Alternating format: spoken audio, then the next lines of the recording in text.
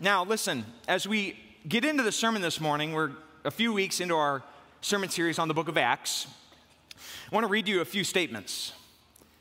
Here they are Turn me over, I'm done on this side. On the contrary, yeah, country music. What binds all these statements together? What's the uniting feature of each one of those statements? Can you think? See some nodding heads. You wouldn't be able to guess it. But uh,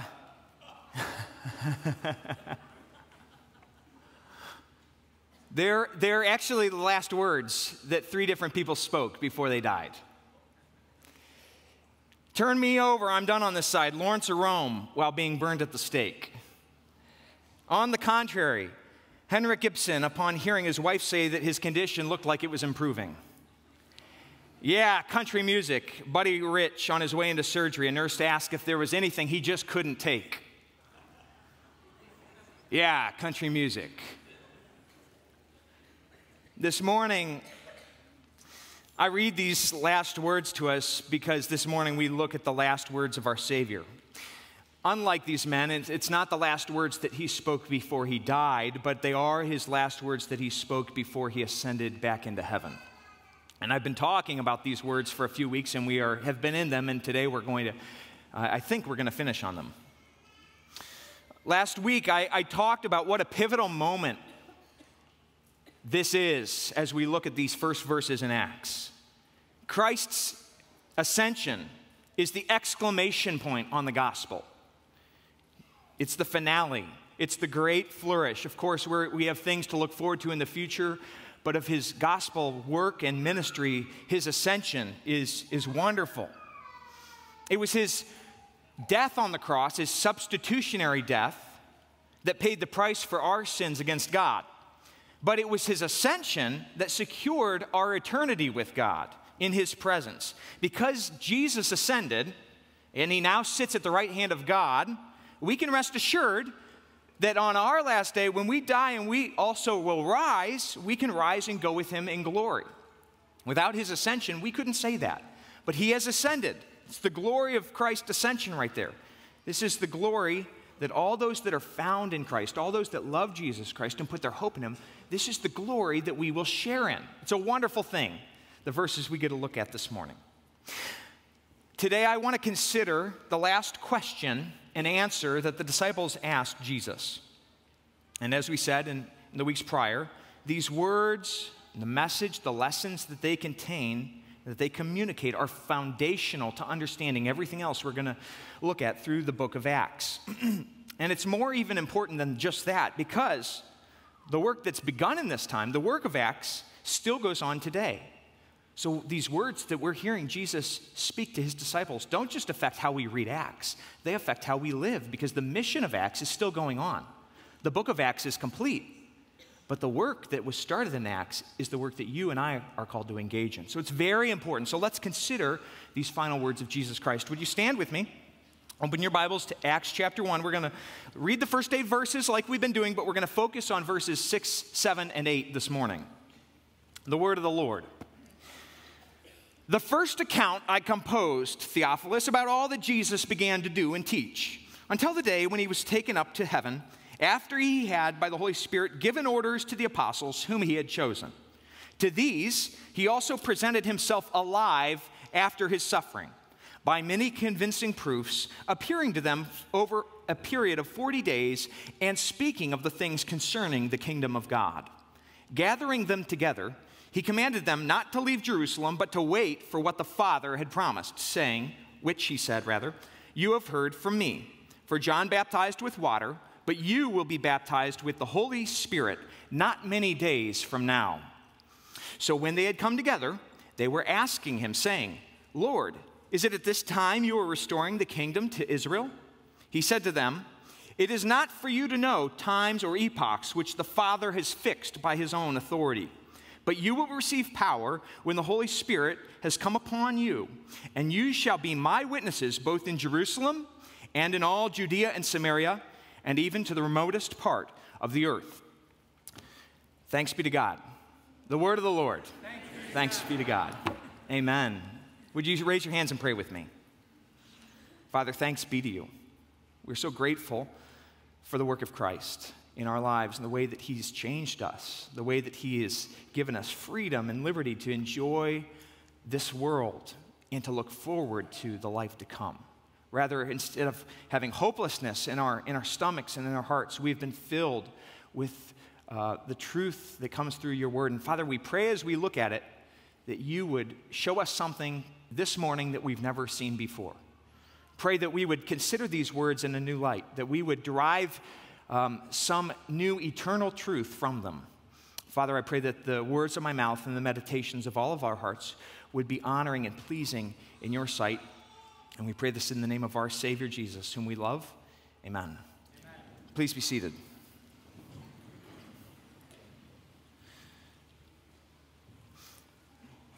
This morning, with the time that we have, I want to consider three things.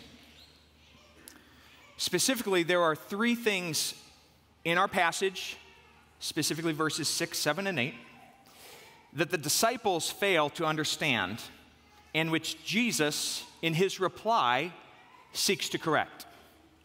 There are three misunderstandings which Jesus corrects, and we're going to look at those this morning. But before we do that, I want to consider, generally speaking, the comments that the disciples make and sort of the mood, the setting that, that they're said within.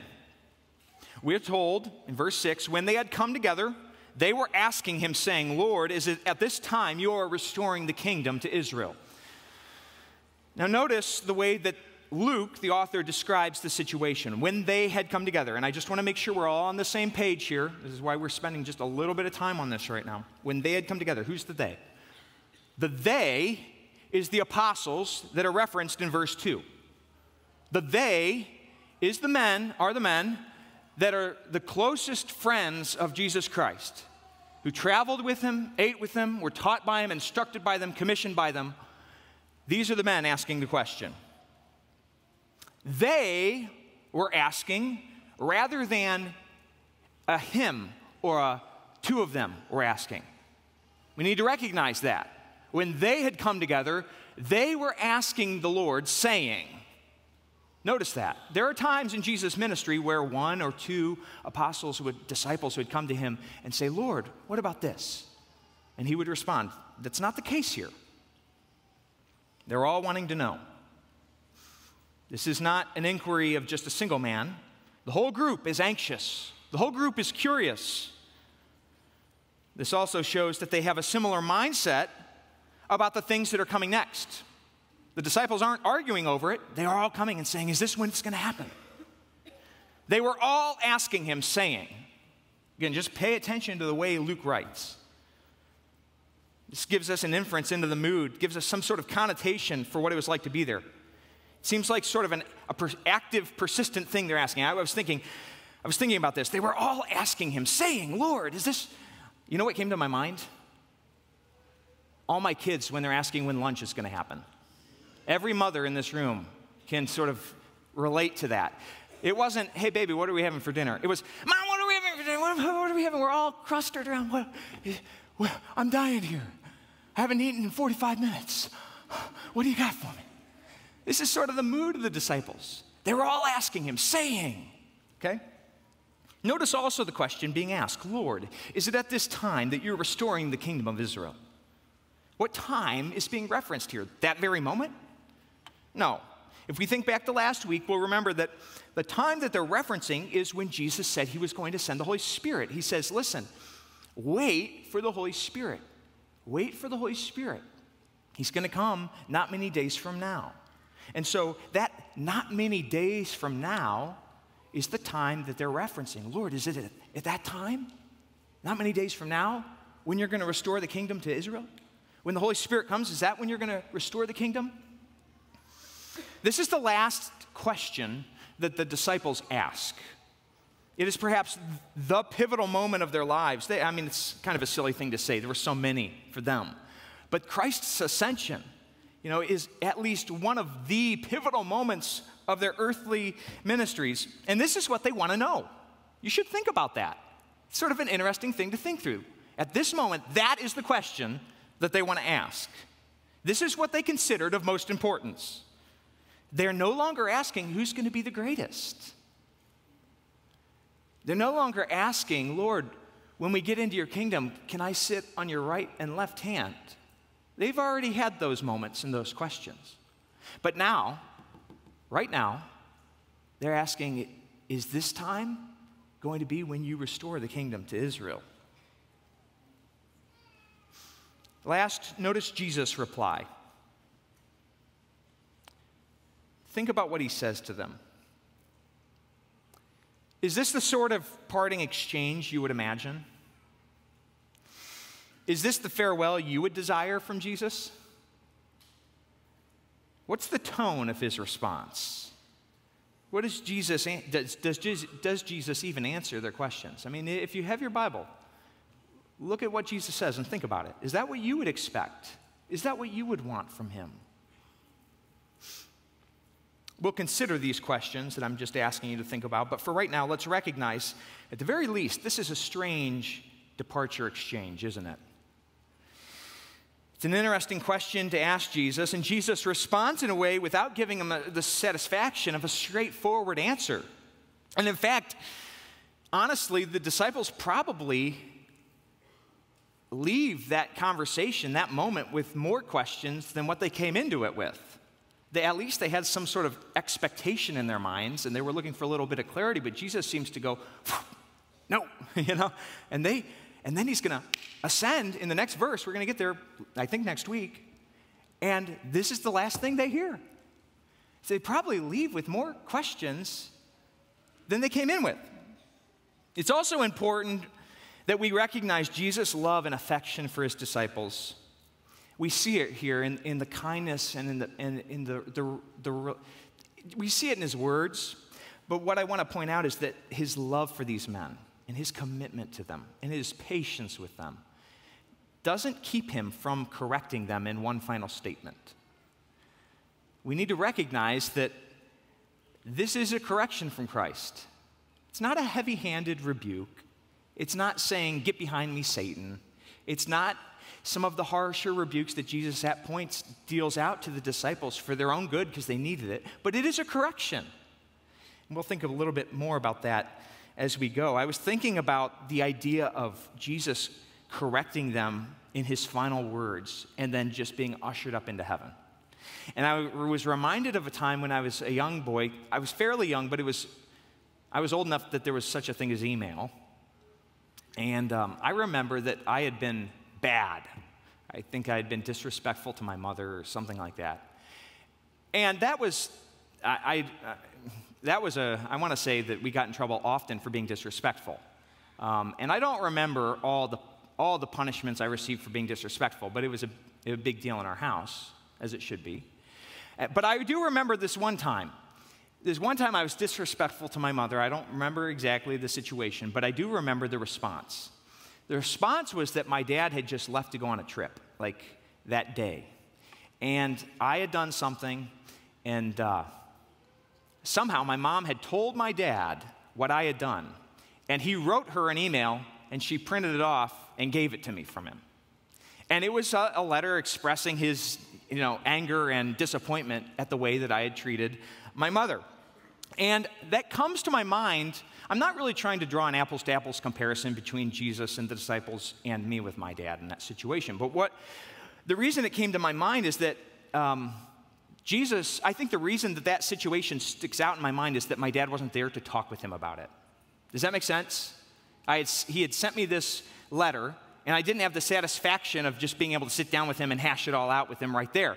So I was left waiting for him to get, you know, he he expressed himself to me, but I was waiting for him to get back to deal with this further. And I think that that weight, that significance of him being gone, made that situation get impressed upon my mind. All right, you follow me? So what I'm saying here is, is we need to recognize this thing is a similar thing is probably happening with the disciples. They ask him a question. Jesus, in love but with firmness, offers a corrective to them, and then boom, he's gone. And they're left. We're going to talk about it next week. Going, And there's going to have to be an angel that's sent down to say, What are you still doing here? Get going. And they're going to be, you know, and I. So that's the reality of the situation. Now I'd like to consider the three ways I spoke of, which the apostles confu- uh, make, um, the three ways in which the apostles are confused about the kingdom. There's three ways in which the apostles here are confused about the kingdom of God. And I want to talk about why we're tempted to make the same mistakes. First, what is clear from the disciples' question is that they misunderstand the nature of the kingdom. None of the apostles were ready for the mission that Jesus had tasked them with.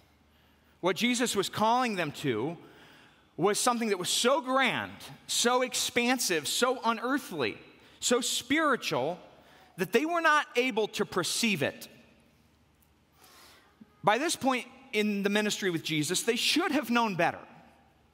They should have known that what Jesus was calling them to was something that was far greater than anything they could have accomplished in earthly terms. But they couldn't have known fully. So here they are, confused. Confused. You know, I, uh, thinking about this situation where Jesus is just about ready to leave them. I've, I've thought, it, you know, I have some children, some older, some younger, and sometimes we go on dates and we leave our older kids to watch our younger kids. And again, there have been nights where we have had the conversation about the way the evening is going to go in the house. Ali and I are on our way out the door. The food is in the oven. The timer is set. Take out the, turn off the oven. Bedtimes for this child. The diaper is here. The wipes are here. You know, I'm telling my older kids, here's exactly what you need to know. And then we're giving them kisses. We're walking over the threshold of our door to go outside to the car. And one of them will say, So, how long are you going to be gone? 15 minutes? 20? What? Is there dinner? Did you make us dinner? Huh? Huh? Didn't we already go over this? this is what's happening. You know, the disciples should have, they couldn't have known fully, but they should have known more than what they know. Jesus has prepared them for his departure. And he's just about ready to go. And the disciples make it painfully obvious that they, they do not understand the nature of the kingdom that he's spoken so much to them about. They say, Lord, is it at this time that you are restoring the kingdom to Israel. So, to begin, we see that there is a gross misunderstanding about the nature of the kingdom of God. Jesus speaks to them about the kingdom of God, and they interpret the kingdom as the restored kingdom of Israel. You remember, for 40 days, he spoke to them concerning the kingdom of God. You can't miss that co- contrast, comparison, if you're reading the text. Boom, Jesus is talking with them for 40 days about the kingdom of God. And when they have the chance to offer up their last question, they say, Are you restoring the kingdom to Israel? That, that is a contrast that Luke is trying to make us see if we open our eyes to see it. It's right there in the text. They interpret the kingdom in earthly terms. They equate the kingdom of God with the geographical, national, political entity, regime. And they couldn't be more wrong. John Calvin says in his commentary on this particular passage that in this question there are more errors with words uh, th- than there are words. He says in this passage, in their statement, there are more errors in their question than there are words in the statement. But how could have they interpreted Jesus' teaching that way? How could have they been wrong? How could have they misunderstood this?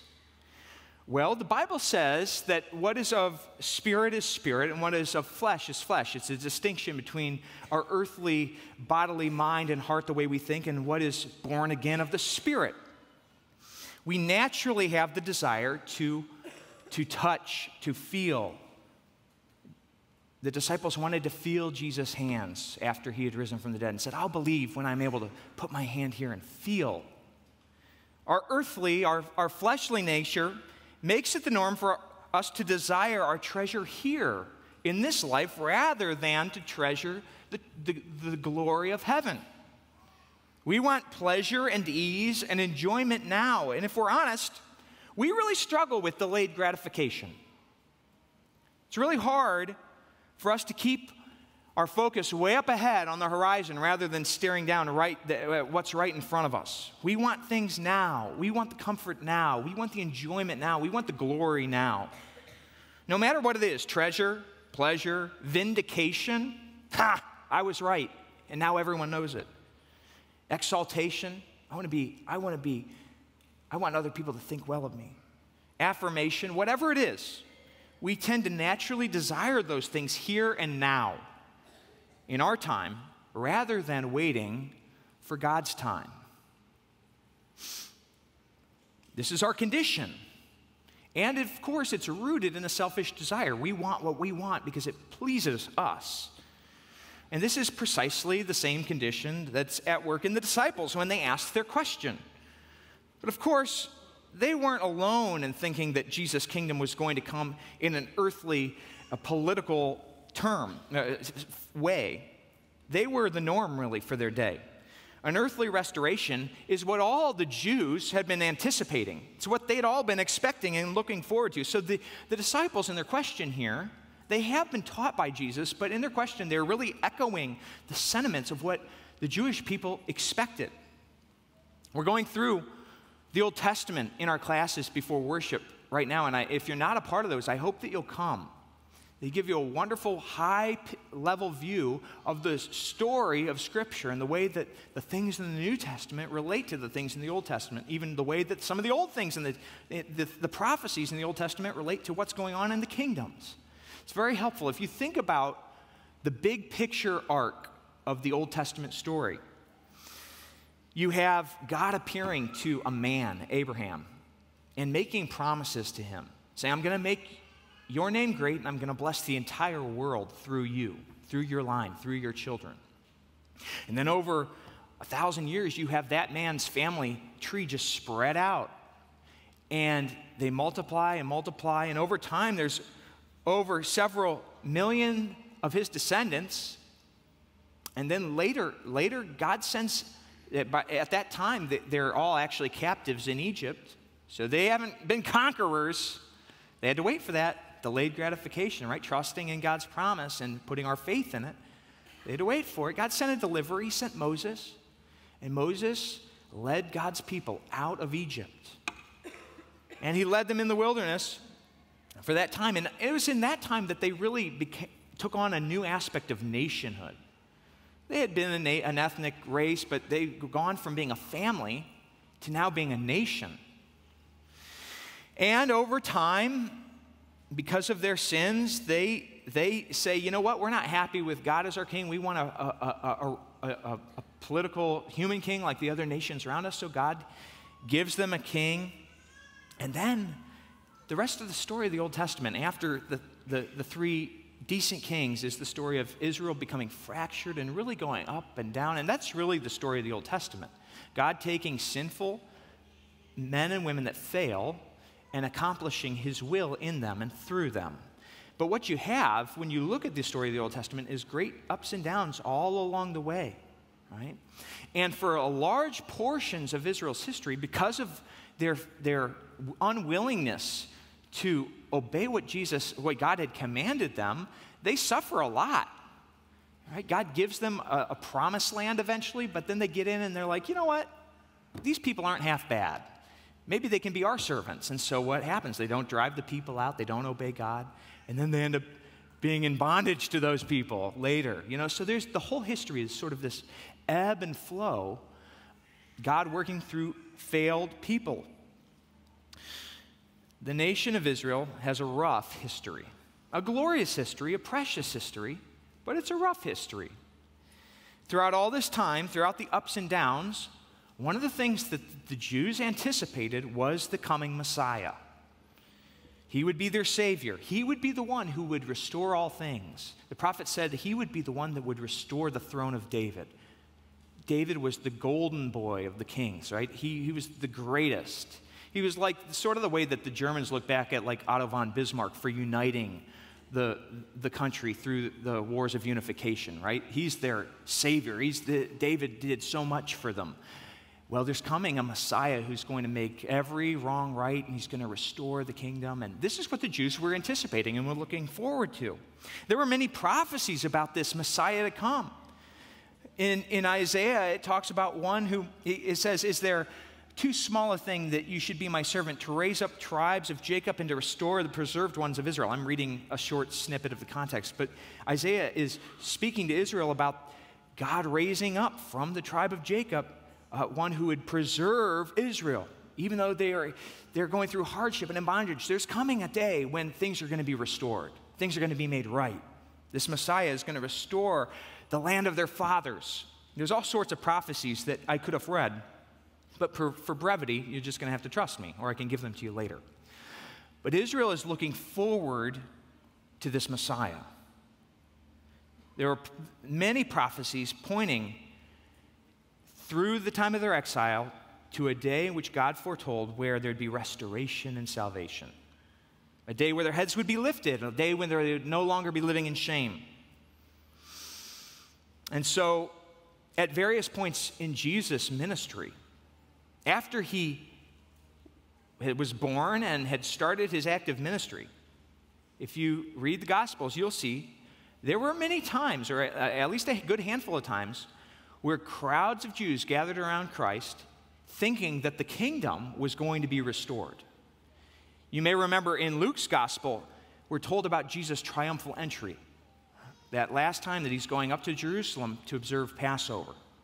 We're told that as he uh, was approaching the city, there were many traveling with him, listening to him along the road as they traveled.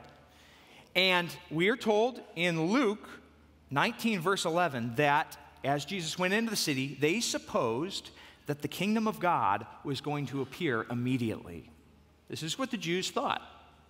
It is recorded that the crowds of Jews supposed that God's kingdom was going to appear immediately.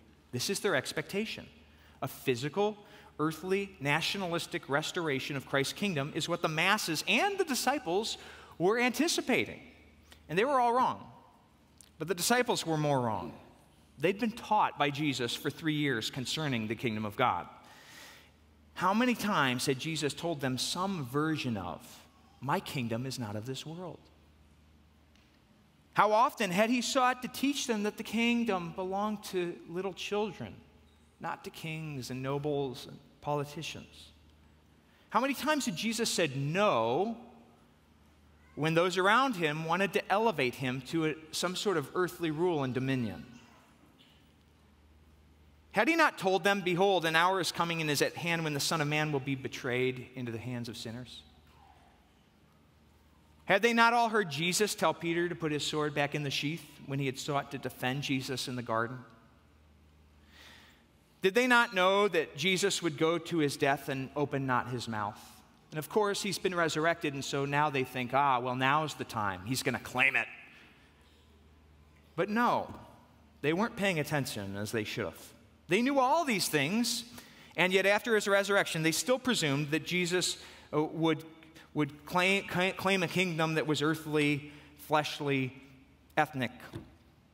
They dreamt of an earthly kingdom which would flow with riches and comforts and external peace and all the sorts of other good things. They made the great mistake of, and here's what they did, and here's how you and I make the same mistake. All right, listen. They made the mistake of boxing God's will into what they might have imagined. That's what they did. They boxed what God's will was into what they wanted. They made the mistake of thinking that God was like them and that He thought on their level. They hadn't grasped the central teaching of Jesus when he proclaimed that the kingdom of God would go far beyond the boundaries of Israel and that the greater son of David would initiate a kingdom with no end, a spiritual kingdom with earthly implications, not an earthly kingdom. This was their first mistake, and it's ours as well. Just as Jesus corrected his disciples, he corrects us now when we long for a kingdom that we can touch and feel and enjoy the benefits of now. He corrects us when we store up our treasure on earth rather than the unseen treasure of heaven. He corrects us when we impose our desires upon Him, when we make what we want the mission of His kingdom. He corrects us when we desire to make heaven on earth rather than to seek His kingdom by pointing earth to heaven. The nature of the kingdom of God reflects the nature of Christ. Just as we will all share in his glory and in the inheritance that I spoke about at the beginning of our sermon today, We share in his simplicity and his humility and his sufferings on earth. He taught this. This is, this is plainly written in the Bible. The disciples wanted to be done with those things. They wanted to usher in the great reign. They wanted to be able to look into the eyes of the Romans and say, We told you so. They wanted to be vindicated and proven right, and so do you. And that time will come, but that time is not now. And it is not for you to know the time or the epoch which the Father has fixed by his own authority. That's what Jesus said to his disciples, and it's what he says to you and to me. So, the nature of the kingdom, the kingdom that we anticipate, and the kingdom that we are told to seek on earth as it is in heaven, is not of this world. His kingdom won't look like what the disciples were anticipating or longing for. It won't look like a nationalistic structure. It doesn't reign politically. It won't live in sweet vindication over all the naysayers that doubted along the way. Seeking the kingdom of Christ will look very much like what Christ's life looked like and what the disciples' lives will look like. And we're going to see what it looked like as we go through Acts. Is this the kingdom building that you're committed to? Are you willing to seek his kingdom and his righteousness and trust him that everything else you desire will be given to you in its time according to his will? That's what he's promised you. Is that the kingdom that you're committed to building? Is that the kingdom that you're committed to being a part of and sacrificing for? Or is the kingdom that you're committed to building your own kingdom, your own desires, your own passions with a thin veil of Christ labeled over top of it to make you feel good? Are you willing to build Jesus' kingdom? Are you willing to walk in Jesus' footsteps? Are you willing to wait for the things Jesus says you're going to have to wait for? Are you willing to be patient? So the disciples confused the nature of the kingdom. They also confused the power of the kingdom. And they do so in a couple of ways, and I'm, we're going to talk about these a little bit more, but I want to say right now they confuse the power of the kingdom in one of two ways, and there's two ways to look at it. They either think that Jesus' power is going to work directly rather than through them, or in line with their thinking about an earthly, fleshly kingdom, they presume upon fleshly power. This is why Jesus offers both correctives, stating that they would be the ones carrying out the work, but that the power of the Holy Spirit would be the power that they operate under, not their own power. It would be supplied by the Holy Spirit. Notice that in their question, they ask, Is it at this time that you are restoring the kingdom of Israel? Who's the you? They're referring to Christ, they're speaking to Christ. And in a way, th- this is correct thinking. All that we do, all that we accomplish, is accomplished maybe through us, but it's by the power of God. God is the one who's working and acting. And so, even as we accomplish things, God is actually the one accomplishing. But we must not only take into consideration the question that they ask as we read the passage and try to wrestle with what's being said here, we also have to consider Christ's correction in his response. Notice that they ask him, Is it at this time that you are restoring the kingdom? Speaking about Christ. With regard to their question concerning time, Jesus responds and he says that it isn't their place to ask or to know. There are certain things that they shouldn't know and they will not know. Same goes for you and I. Concerning who's doing the acting, though, he offers them a very simple corrective. Is it at this time that you are restoring the kingdom? He says back to them, you will receive the power of the Holy Spirit. Uh, you will receive power, rather, when the Holy Spirit comes upon you, and you shall be my witnesses. I think this is very striking in Jesus' words back to them. They say, How long until you? Jesus responds by saying, You will receive power, and you will accomplish it by the power of the Holy Spirit when it comes upon you. And you will be my witnesses. The shift in focus is obvious. It's a pointed change of emphasis from Christ back to the disciples. And you can imagine that if, again, if you were to put yourself in the disciples' shoes, you would have felt that shift in emphasis, wouldn't you? Three years of teaching by Christ, 40 days of instruction, speaking about the kingdom of God, the work of the church, the giving of the Holy Spirit. And yet, at this moment, they still don't seem to understand it all. In John Calvin's commentary, he goes on and on about how frustrated Christ must have been with his disciples at this moment. And we can understand why that would be the case. Have I been with you so long a time and yet you still do not understand? That's what Christ asks his disciples elsewhere in the Gospels. Have I been with you so long and yet you do not understand? We make the same mistake when we pray to see God's kingdom without putting our hands and feet to the work of building his kingdom. How often we're lazy, wanting to relax, wanting to enjoy the comforts of the earth rather than digging for the treasure of heaven. How natural it is. It really is natural to all of us for our hearts to sit and eat and drink and be merry rather than to toil in the fields.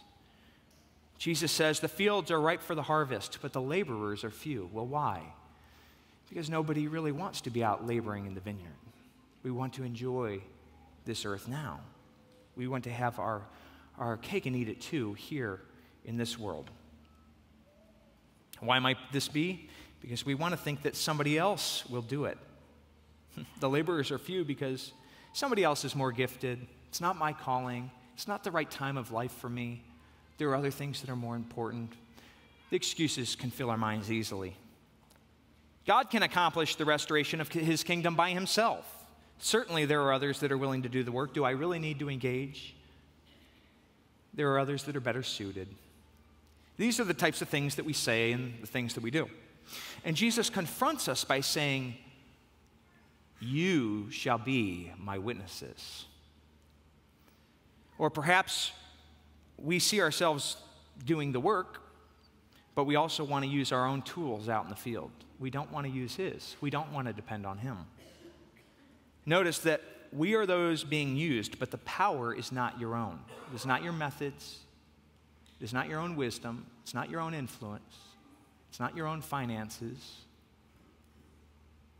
It's nothing that you have to offer. God may use some of those things, but it's His power. And if you think it's in your own abilities and in your own tools, the things that you have at your disposal, if that's where your confidence lies, then you are sor- sorely misguided and you are toiling in a field, but it is not the kingdom of the Lord. It's in your own field. God will use you. He says, You will be my witnesses. But make no mistake, it's not because you're so great, it's because He has given His Holy Spirit to you. And that is a great truth.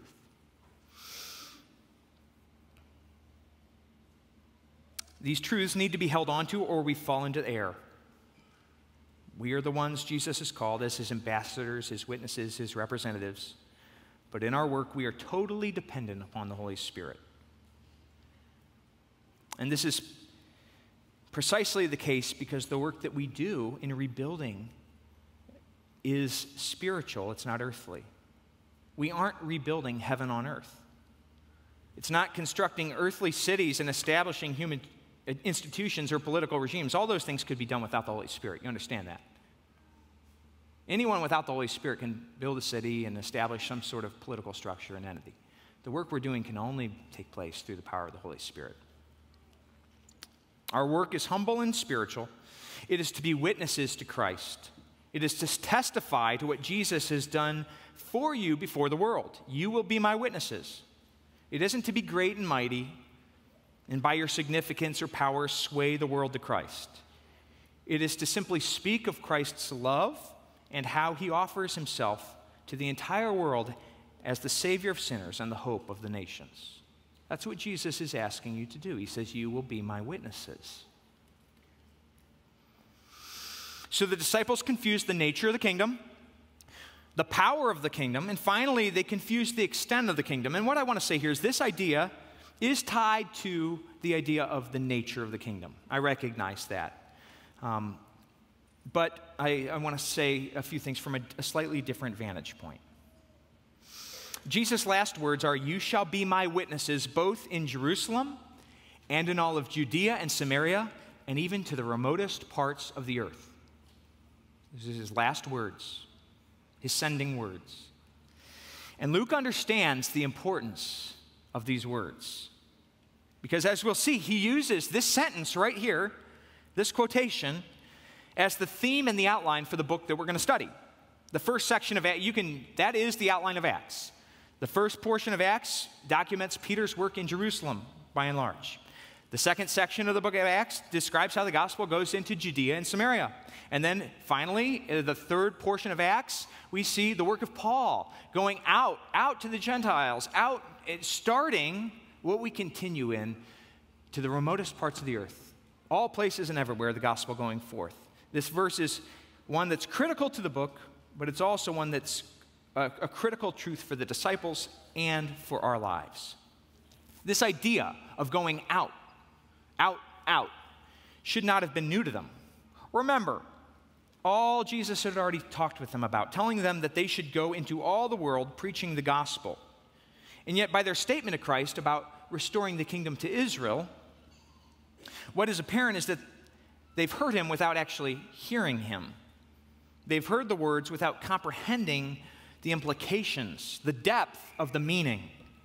Their vision of God's work ended with the kingdom being restored to Israel. Their expectation of God's love for sinners was much smaller and more measured than his own. The disciples believed that the kingdom was going to be restored to Israel, and Jesus responds by blowing their minds. They couldn't fathom how big and glorious his mission actually was. You are his witnesses. You are his witnesses. That's what he says to the disciples everywhere around the world. The gospel is going to start here, it's going to go out from here to, to Judea and Samaria, and then to the ends of the earth. Everywhere, the gospel will be preached. The work of Christ, the love of Christ, the glory of Christ, the transforming power of Christ will be spoken of. And what I want to say is, you are his witnesses.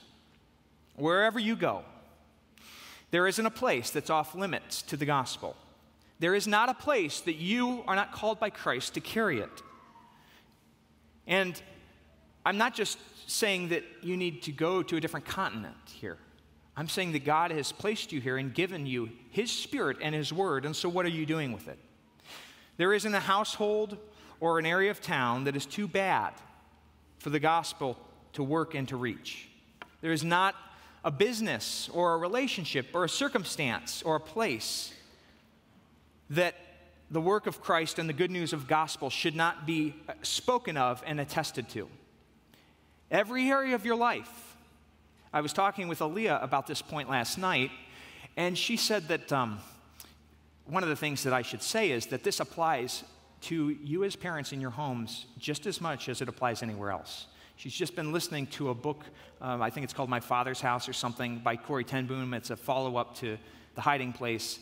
And she was just sharing with me that the work of her life was really bringing people into her home and nurturing them with the gospel. And again, the thing she says time and time again is that parents should never forget that they need to preach the gospel to their children. Right? And of course, we do that with our lives. If you don't do it with your actions, you're a hypocrite and it's, it's, a bad, it's bad for your children.